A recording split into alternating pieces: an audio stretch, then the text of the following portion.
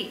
それでは東京都在住33歳の男性の方からのお便りです。僕の実家では神棚を祭りをしているのですが僕は物臭なので頼まれた榊の水をあげ忘れてしまうことが多く家族に怒られてしまいます。そこで質問です。榊用の増加はダメですか？うん。よくあることかもしれないですね。まあ増加と、まあ、榊に限らず例えばあのね飛鳥さんが神棚があるサンゴ飛鳥さんが彼氏からねはい。こうバラの花をですね、はい。もらって、はい。増加とはい。本物の花どっちが嬉しいですか？本物が嬉しいですね。本物が嬉しい？はい。じゃあちょっと神棚にあげる榊ってねはい。どういうふうになってるかちょっと見ましょうかね。はい。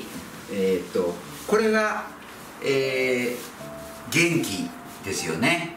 元気な神棚神棚っていう元気なお榊ね。でこれはもうちょっとね。ちょっと枯れ枯れかけてるなっていうの。でもよく見てください。この枯れかけててもこのここに青い葉っぱが若い葉っぱがあるんだよね。であの毎日水取り替えるっていうこともですねじゃあ神棚ってそもそもえっ、と神様がそこにいるのかいないのかとか生きてるのかっていうことなんだよね。でまずちょっとこれ見ると表面は、えーまだ枯れ枯れが少ないけど裏の方に行くとだいぶ枯れてるんだね。これは何かっていうとあの会社でもですね、えー神棚の、えー水お榊の水を取り替えない人とか取り替えるのを忘れちゃう人っているんですよ。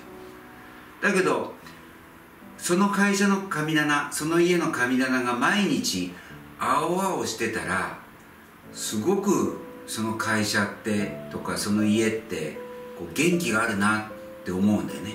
もしこの神棚のお榊がですね、えー枯れてたらドライフラワーみたいになってたらきっと、えー神様に対する思いっていうのが、えー弱いのかな。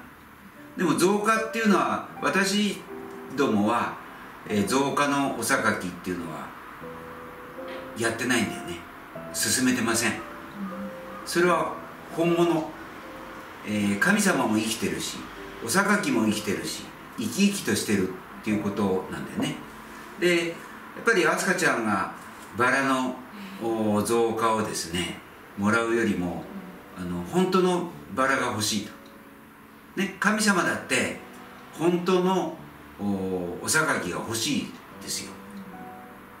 だからあのいくら外形だけ青々してても形だけねそのあなたへの愛は変わりませんって増加のバラよりもさやっぱりもし枯れちゃったら新しい本物の心の入ってるバラを差し上げるようにお榊も枯れれば取り替えればいいんだ。よそれが人間として神様に捧げる、えー一つのうん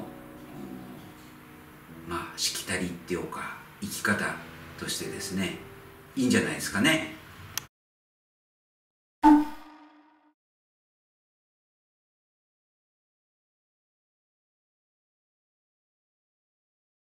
インスタグラム、ツイッターやっていません。フェイスブックやってます。この動画が良かったと思いましたら、チャンネル登録